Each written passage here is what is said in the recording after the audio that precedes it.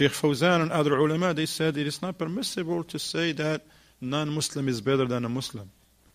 Yes, yes, maybe that non-Muslim, he may be more truthful, more honest, but how can a disbeliever be better than a Muslim? How can someone who's upon disbelief and kufr and shirk be better than someone who's upon tawheed? He's better than, he's, he has certain qualities that that Muslim should have. Any good quality that you find non-Muslims applying, Islam has already commanded us to adorn ourselves with them. They honest, honesty is in Islam.